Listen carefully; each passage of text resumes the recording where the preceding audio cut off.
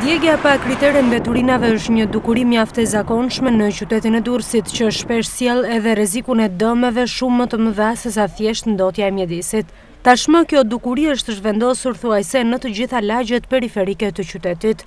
Ndryshe nga sa jemi mësuar që retë e zeza të tymit t'i shohim teksa vijnë nga zona e Porto Romanos, sot paradite ato mbuluan një pjesë të zonës së plazhit dhe Shkozetit. Në periferi të lagjes katërmbëdhjetë, shumë pranë rrugës mikpritja durrsake, dhjetra goma të përdorura automjetesh digjeshin në mëshirë të fatit, duke përhapur panik jo vetëm tek banorët e zonës, por edhe më gjerë. Me shumë mundësi, persona të papërgjegjshëm u kishin vënë flakën një sasi gomash të hedhura aty prej kohësh, përgjatë kanalit të ujërave të larta. Deri tani, autorët janë të paidentifikuar, ndërkohë që nuk dihet as arsyeja se përse është bërë një veprim i tillë.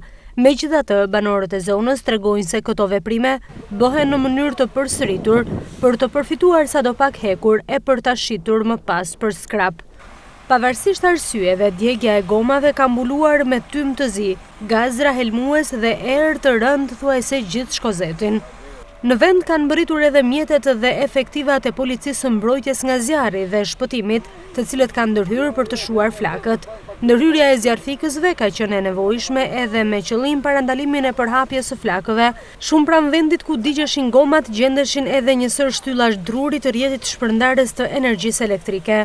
Nga ana tjetër, flakët e zjarrit kanë përfshirë edhe ambientin përreth, duke rrezikuar kështu shtëpitë e banimit, të cilat gjenden shumë pranë kanalit të ujërave të larta që përshkon lagjen katërmbëdhjetë.